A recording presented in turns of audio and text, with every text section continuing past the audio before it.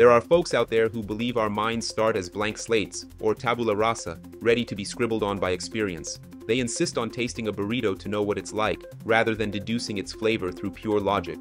Empirical evidence is derived from observation or experimentation, rather than from theory or logic alone. In contemporary science, the expectation is to support findings with strong empirical data. In philosophy, when someone discusses whether evidence is empirical, they are usually referring to how knowledge was obtained. If you know something is true because of sensory observation, it is called empirical. This contrasts with knowledge obtained through logic and reason without the need for observation. Empirical evidence is often referred to as a posteriori evidence. The OG of Western empiricism was Aristotle. He was all about observing nature and drawing conclusions from what he saw. Unlike Plato's abstract theory of ideal forms, Aristotle relied on observation and empirical evidence to develop general principles about nature. The empiricism party really got started in the 17th and 18th centuries, with John Locke as its charismatic DJ. His essay concerning human understanding was like dropping the philosophical bass. Since then, empiricism has been the cool kid on the British philosophical block, with David Hume and George Berkeley joining the crew.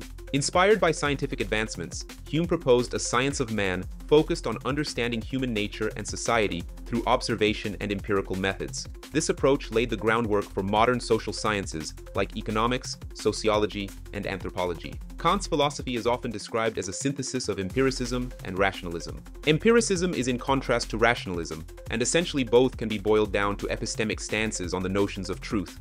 While rationalists were doing mental gymnastics in continental Europe, empiricists in Britain were out poking things with sticks and taking notes. They believed that observing the world was the only way to truly understand it. It's like the difference between armchair detectives and Sherlock Holmes actually hitting the streets. These positions do not concern the definition of knowledge or the imperfections of human sensory perception. They address whether experience and sensory interaction with the world are necessary for gaining knowledge, or whether knowledge can be obtained purely through rational thought.